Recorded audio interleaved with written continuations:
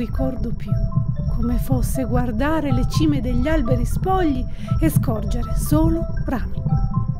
Ma conosco ciò che avvertì Thompson, trapassare il diaframma tra visione e modello.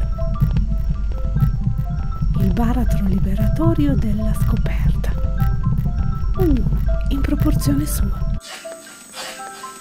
L'equilibrio immobile delle sere agostane, quando mi convincevo a credere e credevo che i mandorli, l'aria e le briciole, che tutto nella sua perfezione fosse fermo.